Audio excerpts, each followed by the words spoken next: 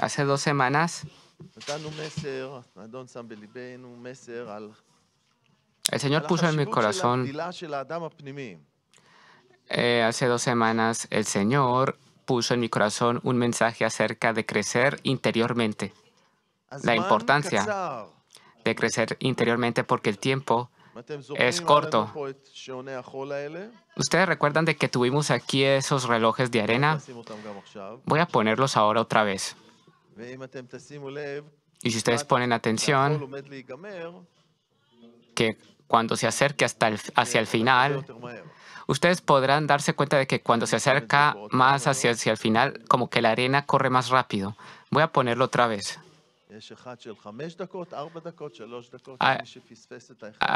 Entonces hay aquí uno de cinco minutos, el de más izquierda, el de el medio es de cuatro minutos y el último es de tres minutos. El, tiempo se acaba. y queremos, primero que todo queremos eh, estar preparados interiormente preparados para qué? Para el rapto, para el arrebatamiento. Les recuerdo de que Jesús eh, enseñó de que van a haber dos en una cama y solamente uno será tomado y el otro dejado. Eso está en Lucas 17, 24. O dos en el campo. Uno será tomado y el otro quedará. O dos que están en el campo, dos mujeres, una será tomada y la otra dejada. Eso está en Mateo 24, versículos versículo 41. Eh, o, por ejemplo, tenemos la parábola de las viudas. Em, perdón, perdón, las vírgenes, eh, cinco estaban preparadas y las otras cinco no, se quedaron afuera y la puerta se cerró. Eh, así que hemos hablado acerca de la preparación de nuestro hombre interior, de nuestra persona interior. Dejar, y dejar de que Dios eh, continúe y siga su obra dentro de nuestras vidas. Él es fiel, pero nosotros también queremos ser un material suave en sus manos. Eh, la semana pasada hablamos acerca de el servicio que Dios nos ha dejado hacer. Dios ha preparado obras para nosotros, las hizo antes de que fundara el mundo. En Efesios 2, versículo 10 dice, queremos estar ser encontrados fieles cuando Él regrese y queremos nosotros completar lo que nos ha llamado a hacer. Y hoy nosotros continuaremos y hoy continuaremos hablando acerca de uno de los caminos que Dios usa para trabajar en nuestras vidas, para prepararnos. Es importante que nosotros estemos de acuerdo con esa obra. Y, y, esto es una obra que ocurre dentro de la iglesia, entre nosotros. Esta es una obra que Dios quiere obrar en nosotros, tal vez en nuestras interacciones. A veces nuestras, entre, nuestro, entre nosotros nuestras interacciones no es la más agradable, y fácil. Queremos hacerlo correcto y, bien uno con el otro. Y sobre eso hablaremos hoy. Pero todas estas cosas son como preparación, últimas preparaciones para nuestro vuelo hacia el cielo con Dios. Ustedes saben de que uno se prepara antes de volar, antes de ir de viaje en avión. Primero uno prepara las maletas, prepara uno la ropa y cierra bien la casa. Hacemos, hacemos las vueltas y diligencias antes de irnos de viaje. Queremos completar también, queremos nosotros también completar todas las diligencias necesarias para nuestro viaje con Dios hacia el, tercer cielo. Las buenas nuevas es que Dios está con nosotros dentro de nosotros y Él obra. Y lo que nosotros necesitamos es someternos, ser, eh, material suave en las manos del de alfarero. Eh, nosotros, nosotros veremos eh, cosas que pueden, que, que, que obstaculizan, nos, nos, obstaculizan a nosotros y nosotros vamos, eh, las alumbramos y vemos de que no queremos ser así, para no ser así. En Filipenses capítulo 1, Filipenses 1, 6. Filipenses 1.6. יש לנו את ההבטחה היקרה הזאת.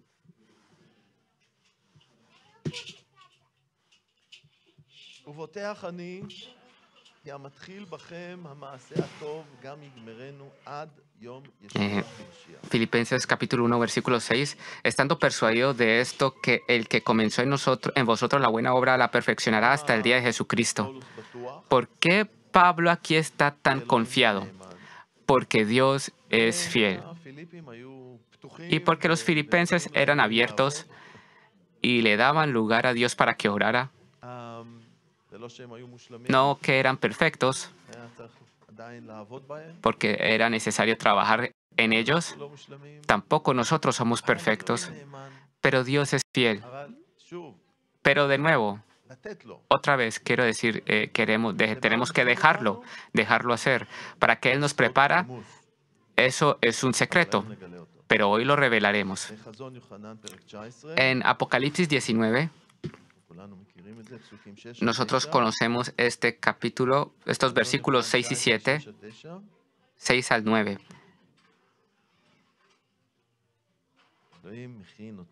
...19, del 6 al 9. Capítulo 19, Apocalipsis capítulo 19, del 6 al 9. Okay. Apocalipsis capítulo 19, versículos del 6 al 9. Mm.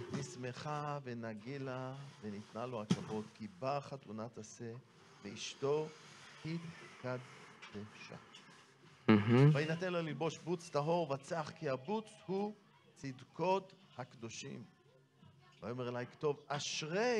הקרואים אל משתה חתונת עשה. ויאמר אליי, אלה הדברים אמת הם, דברי אלוהים.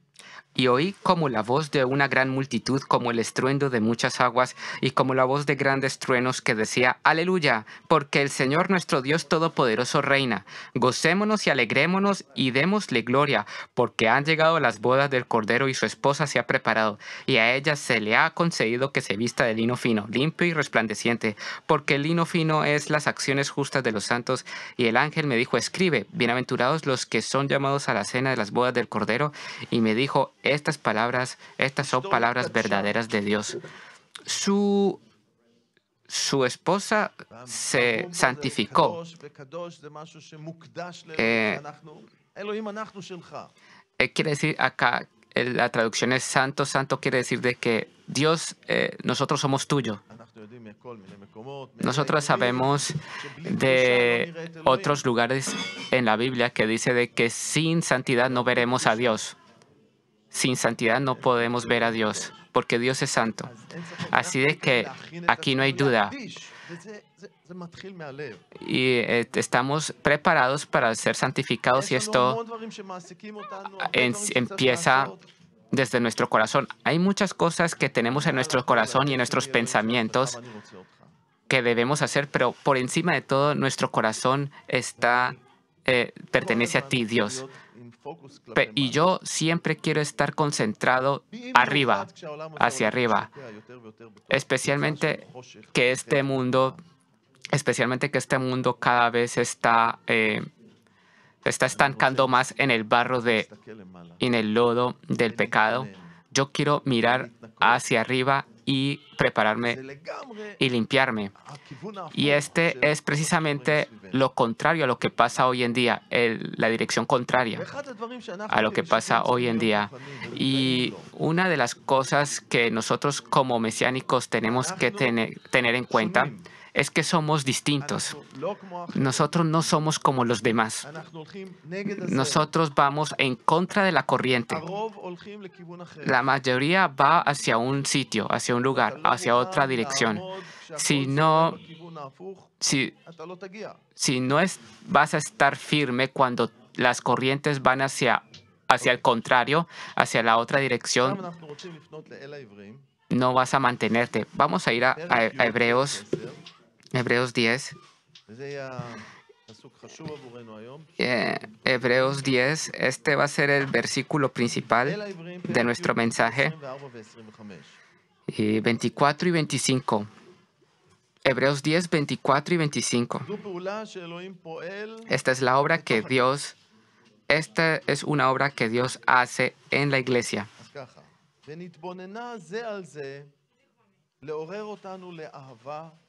ולמעשים טובים, ואל נעזוב את התכנסותנו כמינה קצת אנשים, כי אם נוכיח איש את אחיו, וביותר בראותכם כי קרוב. Mm, 24, versículos 24 y 25. Y considerémonos unos a otros como estimularnos al amor y a las buenas obras, no dejando de congregarnos como algunos tienen por costumbre, sino exhortándonos y tanto más cuando veis que aquel día se acerca. אנחנו נקראים Estamos להסתכל אחד על llamados השני. a, mirar al otro.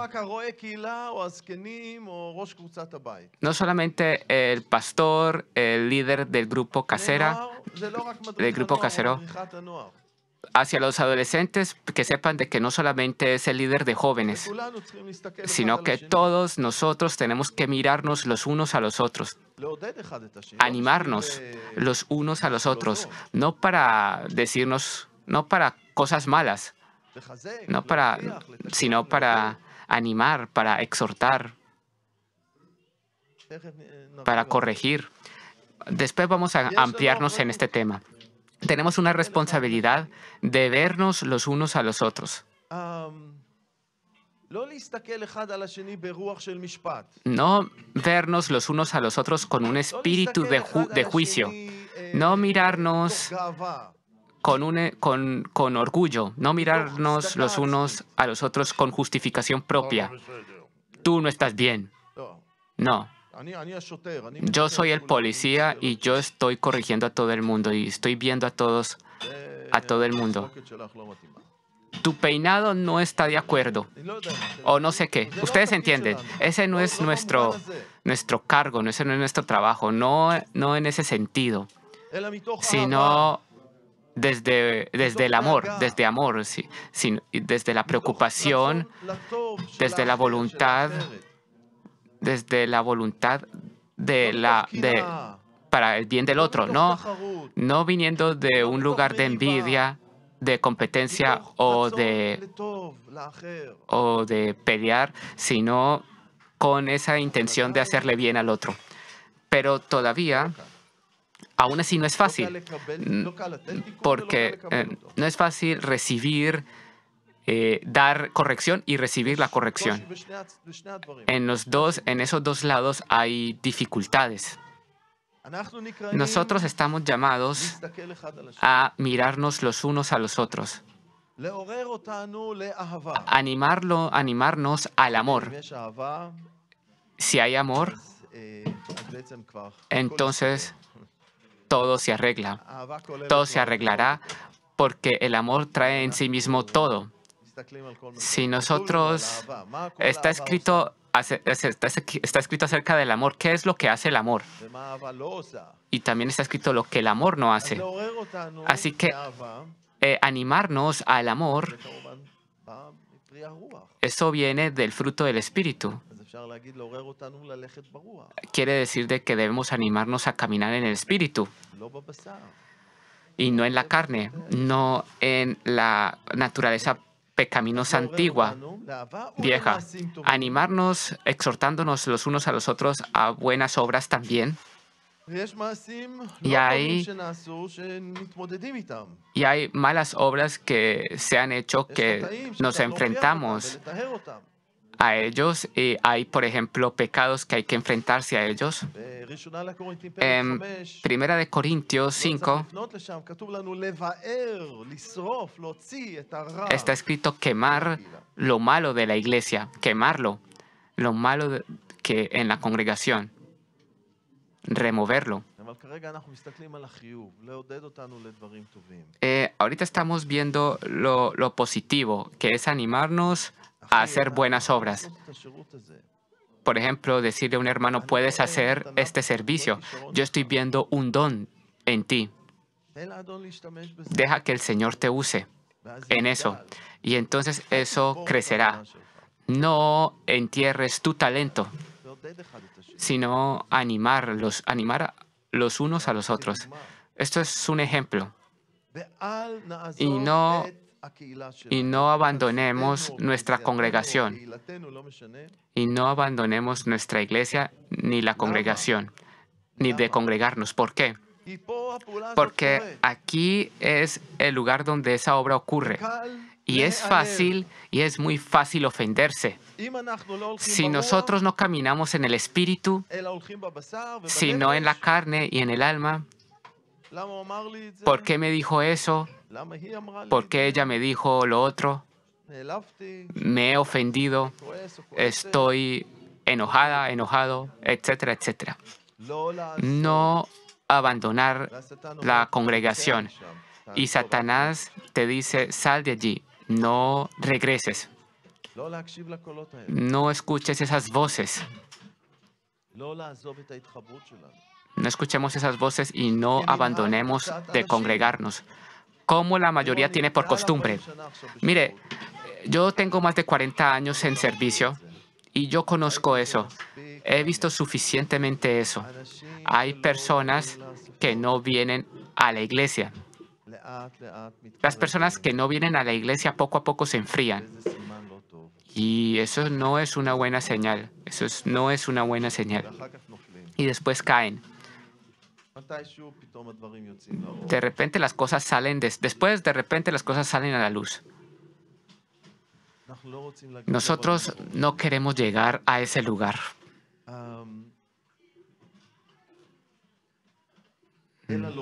sino exhortándonos los eh, uno al otro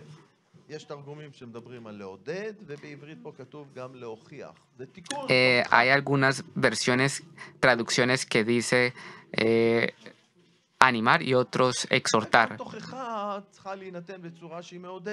Eh, la corrección o exhortación tiene que hacerse de forma que anime a la otra persona porque el motivo no debe ser humillarlo, porque Jesús no humilló a las personas.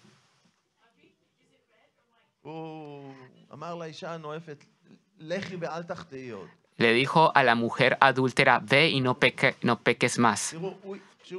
Cuando él, Jesús cuando veía a una persona ya sabía todo de él o de ella, ya sabía lo que había en su corazón. Él no lo expuso, no lo expuso frente a todos. Pero sí, pero sí él trató, sí él trató y exhortó y corrigió eso. Así que em, nuestro motivo no es humillarnos los unos a los otros. Cuando veremos, cuando veremos a, continuación, tal vez hay personas que desde afuera ven en nosotros cosas que, no, que nosotros no vemos en nosotros mismos porque no somos objetivos. Objetivos, perdón. Cuando, nos, cuando alguien nos dice algo de nosotros, y nos ayuda con eso. Si viene con, un, si viene con amor, eso edifica y eso es bueno. Miren, nosotros estamos ahora en una guerra, todos nosotros. Y hoy hay una guerra física en Israel. Nuestros soldados están luchando en Gaza. Y hay lo que se llama hermandad entre soldados entre combatientes. Eso es un concepto, un concepto que se llama hermandad entre combatientes. Eh, se empiezan a ver como conexiones entre soldados, una hermandad, porque pasan ellos por entrenamientos duros diariamente, en la noche también, con grandes eh, dificultades físicas también, con, con esfuerzos físicos, y lo pasan todos juntos y, duran- y dura- y durante, y durante el camino, durante los entrenamientos, se empieza a formar una hermandad entre los combatientes. Yo escuché una vez de que hicieron lo que hicieron una investigación y lo que motiva, en esa investigación decía que lo que motiva a los soldados en el combate, una de las cosas centrales, principales, es la hermandad entre los combatientes. Y eso se ve en, en los soldados, entre los- en los- nuestros soldados. Yo. Creo que Dios también da algo sobrenatural a nosotros, eh, como está escrito en Zacarías 12, que Dios fortalecerá, fortalecerá a los soldados, al ejército, y vemos una motivación muy grande. Y, y eso está, y eso va más allá de la hermandad entre combatientes. Pero cuando ellos combaten juntos y uno cae herido, ellos, ellos se ayudan los unos a los otros, arriesgando incluso sus vidas. Ellos no dejan al herido, no lo abandonan. Ese es mi hermano, ese es mi amigo.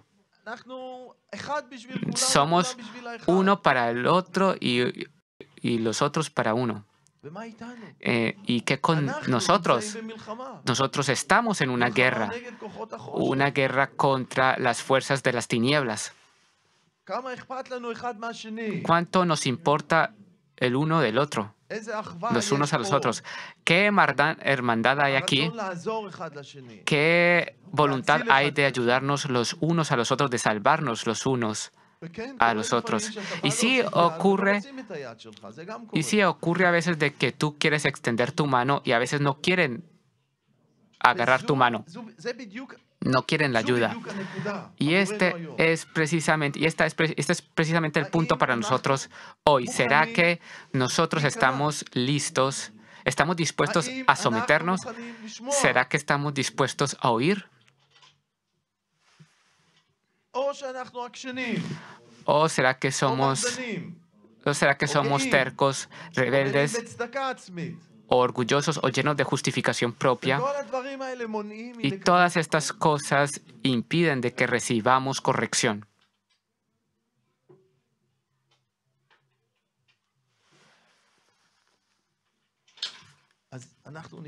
Así que estamos llamados a mirarnos, a vernos los unos a los otros. Y todo, y, y esto está escrito,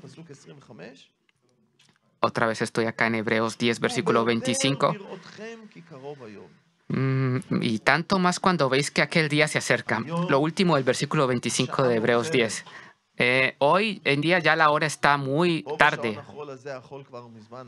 Ya en este reloj podemos ver de que ya la arena se terminó. La, la hora es tardía. Nosotros no sabemos cuánto tiempo nos queda. Y ustedes saben que ese trabajo, y, este- y ustedes saben que el trabajo para nuestras vidas toma tiempo. Trabajar en nuestras vidas toma tiempo y no es conveniente esperar tanto. Toma tiempo trabajar en nuestras vidas. Eh, Proverbios 27. Vamos a Proverbios 27.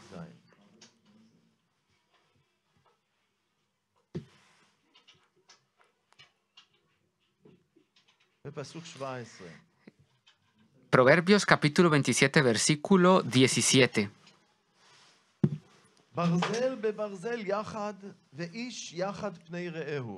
Mm.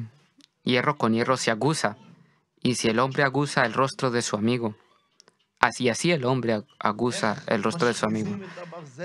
¿Cómo se puede afilar el hierro con otro fierro, con otro hierro? ¿Cómo se puede afilarlo? Pues uno con el otro se afila eh, el hierro. Así que así es, así es como, así es entre nosotros acá, especialmente, especialmente en el matrimonio. Esposos, ustedes tienen alguien, una mujer al lado, al lado suyo tienen una mujer que es un hierro que afila y aquí los hombres se ríen. Tienen una mujer y también mujeres, ustedes tienen esposos, hombres, que, que si es espiritual el hombre, y yo animo, y yo animo a todos los esposos aquí a tomar su lugar. Eh, Así nos podemos acusar o afilar los unos a los otros. Y eso no solamente es eh, dentro del marco del matrimonio, sino dentro del marco de la iglesia. Afilarnos los unos a los otros. Dice en el versículo 19, miremos el versículo 19 del mismo capítulo. Como en el agua el rostro corresponde al rostro, así el corazón del hombre al del hombre. Cuando ustedes, cuando ustedes ven el agua, cuando ustedes ven el agua que, y está tranquila el agua, ustedes que, que ven, pues eh, ustedes se ven reflejados allí, ven su, su rostro. Así que te puedes ver a ti mismo, te refleja y también, y también, y también tu rostro eh, es como una transparente en lo que hay en tu corazón. ¿Quién de los que está sentado aquí se puede ver a sí mismo? Se puede ver su rostro a sí mismo. ¿Quién se puede ver a sí mismo? No. Pero sí, yo veo sus rostros. Yo de aquí veo sus caras. Porque el otro ve tu rostro. El otro tú no te ves a ti mismo. Si, usted, si usted está como encadenado dentro de usted, eso, eso se puede ver por medio de su cara y su rostro. Y yo quiero tomar este ejemplo precisamente del agua. ¿Y qué pasa si una piedra, y hablémonos, y digamos que somos piedras, digamos que somos piedras dentro del agua, dentro de un lago? ¿Qué pasa con la piedra en el agua, en el río? Parece así. Porque, porque cuando hay corriente entre las piedras se, se, rozan una con la otra, no solamente el agua la roza, así que y poco a poco se va lijando y se van quitando como las, los puntos, las, las cosas que no están lijadas. Aquí está la piedra, se van. ¿Y qué pasa con alguien que no viene a la iglesia y no está dispuesto a pasar por ese proceso? ¿Cómo ¿Qué aparenta él? ¿Cómo, se, cómo pues aparenta ser así? No muy liso, no está lisa la piedra, no está lijada, lleno de de puntas, de puntas y de huecos, y no es fácil ni cómodo tomar, eh, como agarrar la, piedra. Y tú te acercas a, él y, está todo arisco, o sea, todo... Te acercas a la persona y está muy a la defensiva.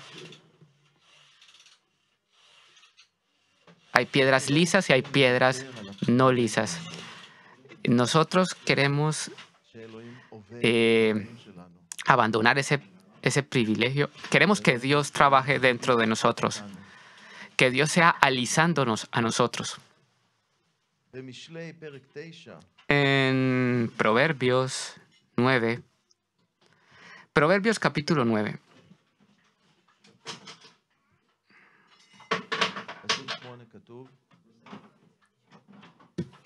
Versículo 8. Proverbios 9, versículo 8. Mm. כתוב לנו, אל תוכח לץ פן ישנאיך, תוכח לחכם. ו- Proverbios 9, 8. No reprendas al escarnecedor para que no te aborrezca, corrige al sabio y te amará. אנחנו חכמים. Nosotros somos sabios, somos sabios. O somos sabios o somos tontos, eh, necios más bien. cuán difícil nos es para nosotros recibir la corrección. Ahora no piensen en el otro, por favor. O no piensen ahora y no, pi no piensen y digan dentro de ustedes cuánto usted tiene razón y espero que mi esposo esté escuchando lo que usted dice. O está sentado aquí y dices dentro de ti cuán razón tienes. No, yo no, tu, yo no fui suficientemente valiente para decírselo a mi esposa, pero qué bueno que usted lo está diciendo ahora.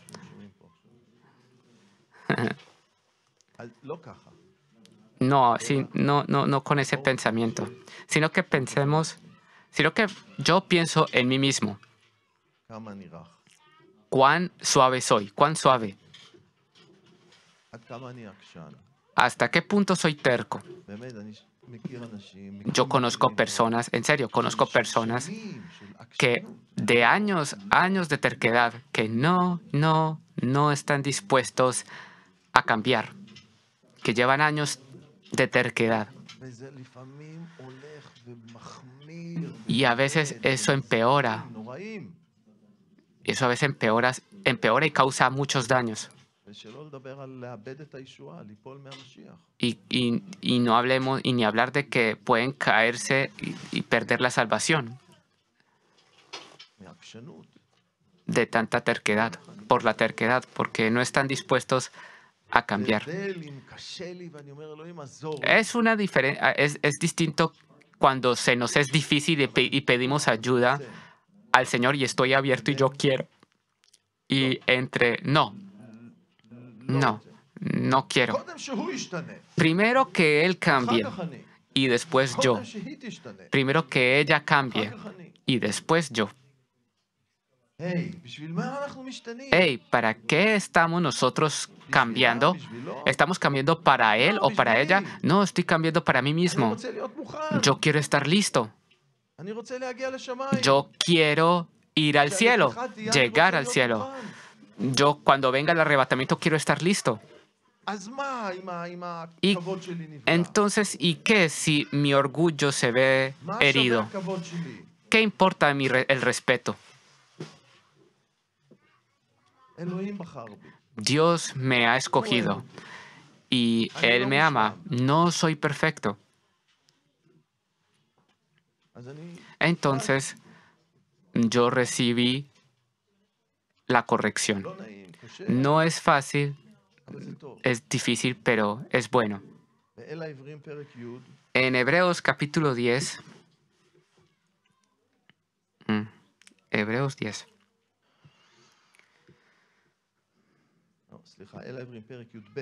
Perdón, Hebreos 12.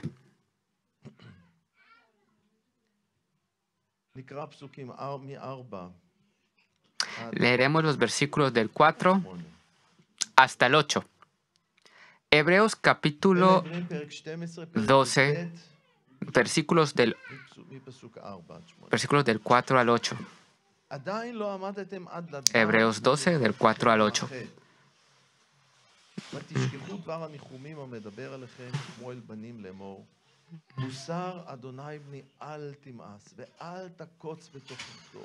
כי את אשר יאהב אדוני יוכיח, יכאיב את בן ירצה. אם סובלים אתם מוסר, דעו כי כאב עם בניו, כן מתנהג אלוהים עמכם. כי איה הבן אשר אביו לא ייסרנו. אך אם תהיו באין מוסר, אשר היה מנת כולם, אז ממזרים אתם, ולא בנים. Porque aún no habéis resistido hasta la sangre, combatiendo contra el pecado, y habéis ya olvidado la exhortación que como hijos se os dirige diciendo, Hijo mío, no menospries, no menosprecies la disciplina del Señor, ni desmayes cuando eres reprendido por Él, porque el Señor al que ama, disciplina y azota todo el que recibe por hijo. Si soportáis la disciplina, Dios os trata como hijos, porque ¿qué hijo es aquel a quien el Padre no disciplina? Pero si os deja sin disciplina, ¿de de la cual todos han sido partícipes, entonces sois bastardos תשע עד 11. y no hijos. Seguiremos leyendo del 9 al 11. ועוד אם אבות בשרנו היו מייסרים אותנו, בנראה מהם, אף כי ניכנע לפני אבי הרוחות, ונחיה. כי הם היסרונו כטוב ביניהם לימים מעטים, אבל זה להועיל, למען יהיה לנו חלק בקדושתו. Dios quiere que seamos santos.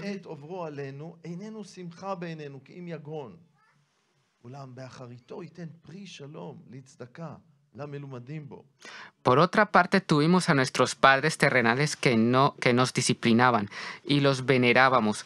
¿Por qué no obedeceremos mucho mejor al Padre de los Espíritus y viviremos?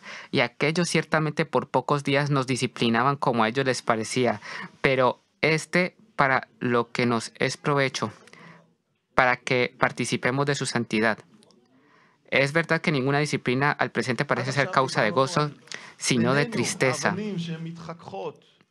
Eh, hasta ahora hemos visto las, entre los ejemplos de entre nosotros que nos frotamos los unos a los otros como piedras, pero Dios también obra en nuestras vidas y ocurre algo. Tal vez quisimos caminar en nuestra terquedad por un camino que no es correcto. Y Dios quiere corregirnos, quiere ayudar. Y tal vez el negocio fracasó. Quiere Dios enseñarnos. Y, ocurrió un lío, tal vez una crisis financiera o un daño distinto. Y Dios permite eso. Y dice, y dice, no, eso no es bueno para ti, por ahí no es el camino, detente. Yo te, yo te dirijo, yo te voy a dirigir a otro lugar. Es duro, es duele, pero Dios permite esas cosas en nuestra vida. Así que cuando ocurre algo, cuando ocurre un, un accidente de tránsito o no sé, cualquier otra cosa, siempre siempre digamos, Dios, si tú quieres decirnos algo, algo por medio de esto, estoy dispuesto a oír. Es, es importante también balancear esto porque, porque hay una diferencia porque hay una diferencia entre exhortación que viene a edificarte y la culpa, porque Satanás culpa y él te puede hacer sentir culpable por medio de las personas. No, no todo lo que te dicen tiene que ser sí y amén. Eh, tenemos que examinarlo, discernirlo eh, pero no de, y, no dejar, y no dejar al orgullo motivarnos o a la, ter, o a la terquedad motivarnos de recibir una buena corrección. Hay cosas que sí debemos rechazar y no recibir porque no edifica y es malo. También puede haber personas que dicen cosas correctas, pero no lo dicen de forma buena. Y me pasó a mí. No hace mucho tiempo me ocurrió, uno o dos años, hace uno o dos años, no me acuerdo bien, una situación, hubo una situación que por supuesto no voy a dar detalles. Yo vi algo que estaba yo seguro que no era bueno, que alguien hacía, y yo le hablé a esa persona y le dije, no está bien. Pero lo dije con frustración. Y eso no fue bueno. No lo dije con espíritu de amor que edifica. Tuve que pedir perdón. Así que esto puede ocurrir. Pero también en una situación así, aún lo que se te dijo fue correcto, fue cierto. Y tienes que corregirlo y recibirlo.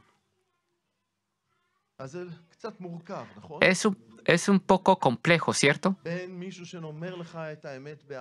Entre una persona que te dice con amor la verdad y entre, y entre, quien, y entre quien te dice la, la verdad con frustración y enojo.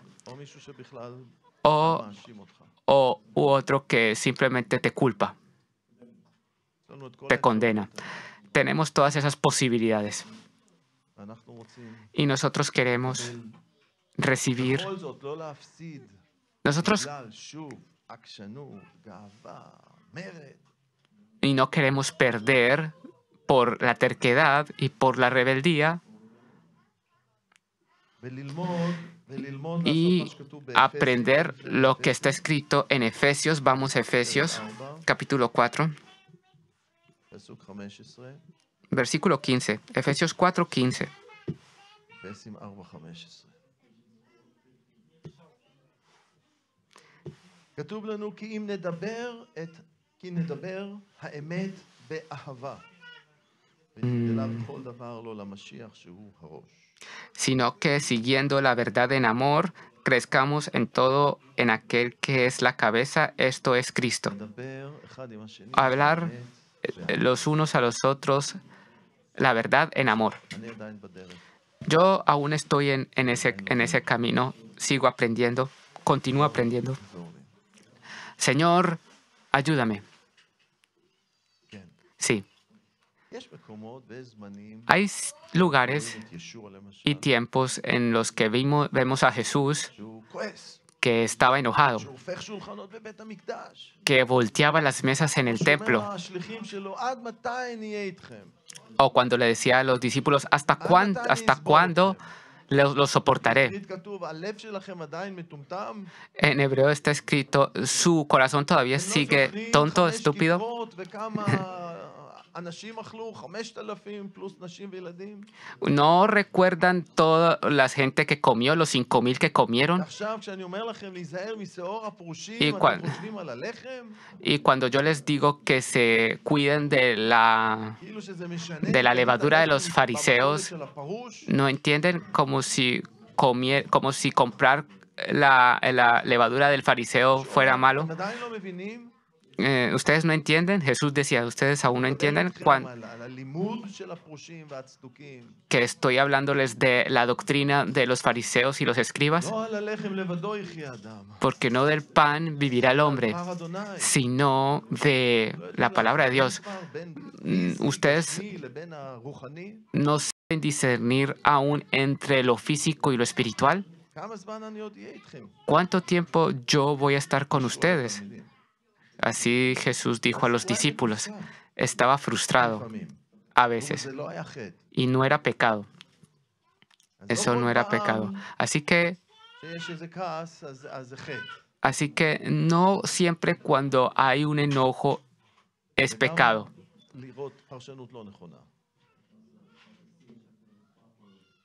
Y hay, no siempre cuando estás enojado em, eh, no es bueno. Em, está escrito en Santiago de que no se acabe el día en tu enojo. Vamos más bien, vamos a, ir a Santiago 1. Está escrito en Santiago 1.20. Porque la ira del hombre, porque la ira del hombre no obra la justicia de Dios. Mm. Así que tenemos que cuidarnos de la ira. Pero a veces hay lugar para la ira. También nuestro Padre en los cielos se enoja y no peca. También hay lugar para eso a veces. Que, que el Señor nos ayude dentro de nuestro enojo a no pecar sino que aún eh, mantener el dominio propio y hacer lo correcto. Bueno. ¿Qué tipo de piedras queremos nosotros ser? ¿Así o así? ¿Qué piedra eres tú en tu casa? Niños, ¿qué piedras son ustedes en sus casas? Preguntarle, le preguntamos a tu mamá o a tu papá cómo ustedes se comportan en la casa, les dicen a ustedes algo y de repente sale una punta y dicen, y, dicen no tengo tiempo, no quiero, o responden así, o, o ya estamos lisos, estamos completamente lisos, sin puntas.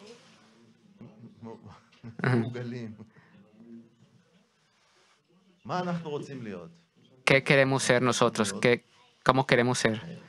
Queremos hacer así, con piedras lisas, como... Ahora quiero contarles otra cosa. Tenemos algunos minutos. Vamos a Primera de Samuel. Primera de Samuel.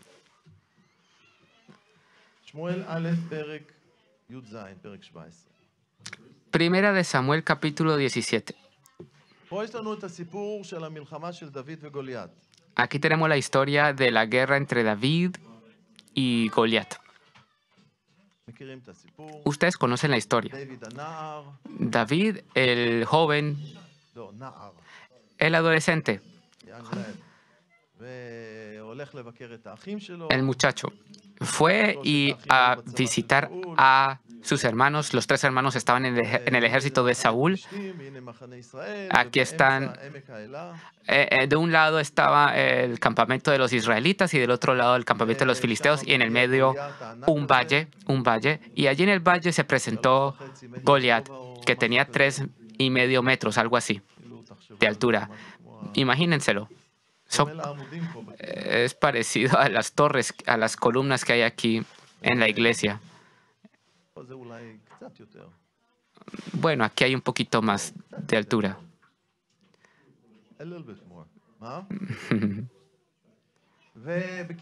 Bueno, eh, él era gigante, en pocas palabras. Y allí el muchacho David estaba al lado de él, frente a él. Pero no nos, interesa ahora el, el, combate en sí, ahora, sino que David, sino que David tenía que elegir su arma. Eh, nosotros, leemos en el versículo 40. Vamos a leer un poco antes para tener contexto. Voy a leer desde el 37, primera de Samuel, capítulo 17, versículos del 37 en adelante. El, el importante es el versículo אדוני 40. אשר הצילני מיד הארי ומיד הדוב, הוא יצילני מיד הפלישתי הזה. Ujú. שאול לדוד, לך ואדוני יהיה עמך. וילבש שאול לדוד במדיו, ונתן לו כובע נחושת על ראשו, וילבש אותו שריון, ויחגור דוד את חרבו מעל למדיו, ויואל ללכת, כי לא ניסה. ויאמר דוד על שאול, לא אוכל ללכת באלה, כי לא ניסיתי. ויסירם דוד מעליו. ויקח מקלו בידו, Mm, las piedras lisas del arroyo.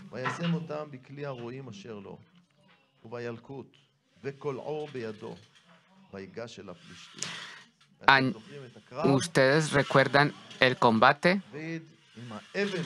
David con las piedras lisas del arroyo.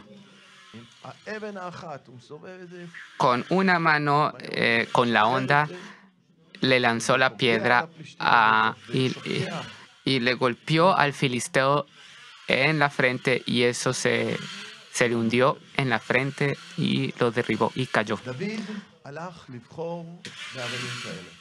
Eh, David fue a elegir piedras lisas así. ¿Por qué? Porque estaban de acuerdo a lo que necesitaba para este combate, para esta guerra. Porque una piedra así no, no, no huela bueno. Hay mucha, hay, puede, hay mucha resistencia del viento. Bueno, esta sí puede ir directo como una bala, como una flecha. Eso fue lo que hizo David. Eh, eso fue lo que hizo él. ¿Y qué, y qué con el hijo de David, Jesús? Cuando él necesita elegir una piedra para su combate, aquí en la tierra de Israel, en este momento, en este tiempo, cuando él necesite elegir una piedra, eh, ¿a quién va a poder usar? Él va a ir, va a descender al arroyo donde el agua eh, de Dios fluye cada sábado. Se dirigirá al arroyo y busca y él busca a quién puedo yo usar en esta guerra.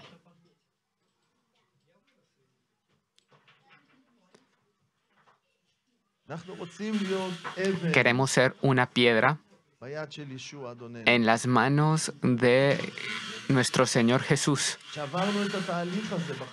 Cuando pasemos este proceso en nuestras vidas, cuando, pasamos este proceso y le damos a Él que obre nuestras vidas, estamos dispuestos a cambiar ideas y estamos dispuestos a eh, transformar nuestros pensamientos, nuestra...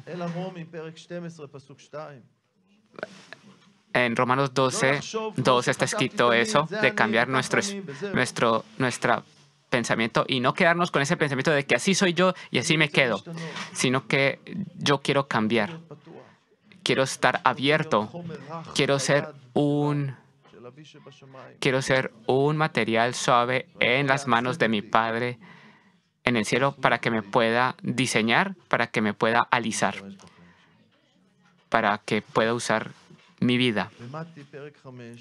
En Mateo 5, Mateo 5,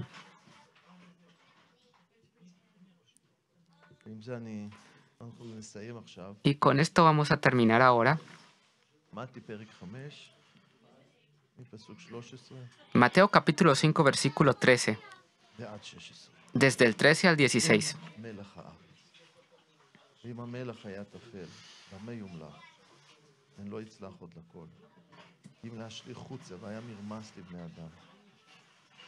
אתם אור העולם. עיר יושבת על ההר לא תוכל להסתתר. גם אין מדליקים נר ושמים אותו תחת העיפה. כי מעל המנורה ויאר לכל אנשי הבית. כן יאר אורכם לפני בני האדם, למען יראו מעשיכם הטובים, ושיבחו את אביכם שבשמיים. Vosotros sois la sal de la tierra, pero si la sal se desvaneciere, ¿con qué será salada? No sirve más para nada, sino para ser echada fuera y hollada por los hombres. Vosotros sois la luz del mundo, una ciudad asentada sobre un monte no se puede esconder, ni se enciende una luz y se pone debajo de un almud, sino sobre el candelero y alumbra a todos los que están en casa. Así alumbra vuestra luz delante de los hombres, para que vean vuestras buenas obras y glorifiquen a vuestro Padre que está en el cielo. Todas estas son imágenes y mensajes del mismo asunto, en, ya, sea, ya sea que seas una piedra lisa o, un, o sal bien salada, o ya sea ser una lumbrera, como nosotros somos luz, Jesús que vive dentro de nosotros, su luz resplandece. Y cuando llegamos a ese sitio, Él es el que nos pone sobre el candelero. Él se preocupa por eso. ¿Será que, ¿será que el Señor nos puede poner en un, candelero? ¿Será que nuestro, nuestra vida es ejemplo, es testimonio, buen testimonio? ¿O será que más bien que nadie sepa que soy creyente? Eh, cómo nos comportamos en el colegio, en la escuela, de qué chistes nos estamos riendo o qué programas nosotros vemos, etcétera, etcétera.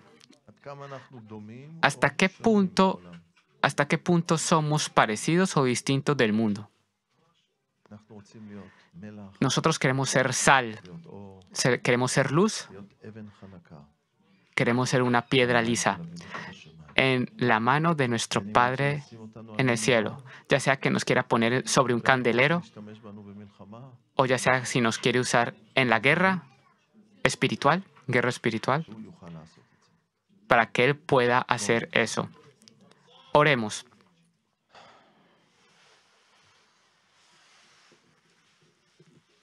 Oh.